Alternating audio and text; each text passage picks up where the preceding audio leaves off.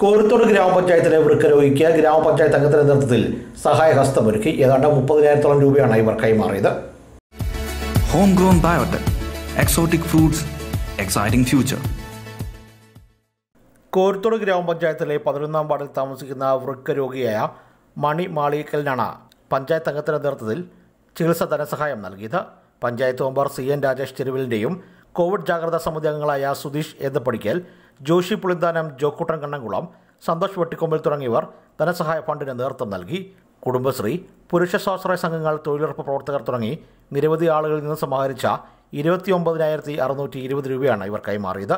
Covid ജാഗ്രതാ സമിതി അംഗങ്ങളുടെയും മറ്റ് പ്രദേശവാസികളുടെയും സാന്നിധ്യത്തിൽ പഞ്ചായത്ത് മെമ്പർ പണം കൈമാറി.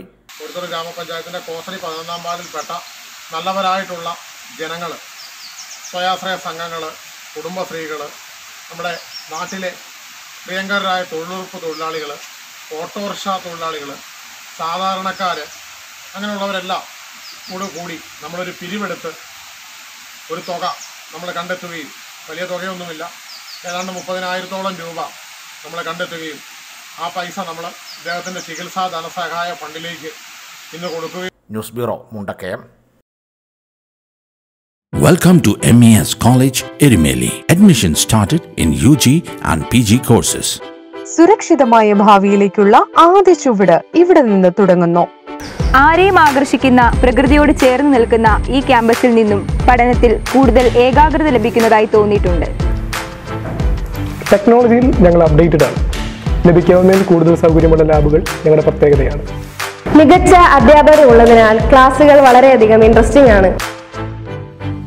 വായനയിലൂടെ മാത്രമേ അറിവുകൾ ശേഖരിക്കാനാവൂ. ഞങ്ങളുടെ ലൈബ്രറിയിൽ ഒരുപാട് അറിവുകളുടെ ശേഖരണമുണ്ട്.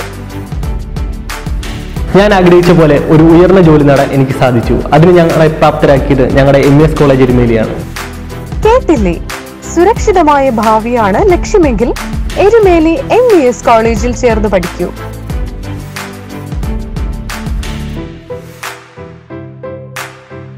M E S college Erimeli. Approved by Government of Kerala and affiliated to the Mahatma Gandhi University, Erimeli, Kottayam.